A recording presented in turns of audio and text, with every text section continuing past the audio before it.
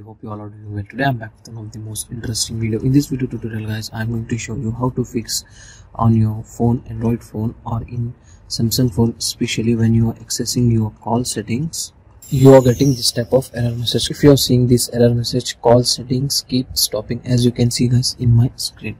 So don't worry. In this video i will show you some simple and effective method to fix it in just a few minutes. First try a simple restart. Many times a small system glitches causes the error. Restarting your phone may solve it instantly. Okay?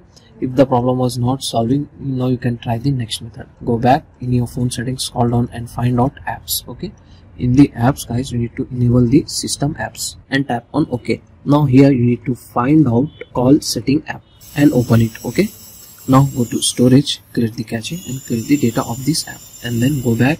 Now you need to find out phone service app. Open it. Same thing you need to go to storage create the cache and clear the data and then restart your phone and check if the problem was solved or not. In case the problem is not solving you can try the next method. Now you need to reset your app preferences. To reset it guys once again you need to open the phone settings scroll down and find out apps. Now in the top right side here you can get the three dots. Just tap on it. From here you need to select reset app preferences. Just tap on it and then tap on reset okay? So don't worry this will not delete your personal data. So just reset it.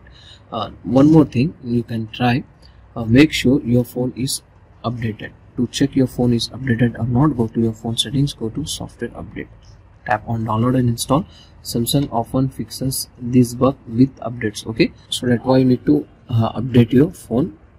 Uh, after update, updating the problem was not solving. Now you can try the next method. Boot your phone into safe mode to check if a third-party app is currently is causing the crash. If the error does not appear in the save mode uninstall any recent installed app that might be culprit. Okay so just find out the unused application and uninstall it from your phone. Still the problem was not solving. You can try the next method as a last option. You can reset your network settings.